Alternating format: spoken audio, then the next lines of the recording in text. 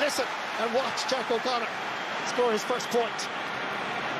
That's brilliant work by Robbie O'Flynn. He took every tackle. He was, uh, he saw Declan Hannon come to him there. He broke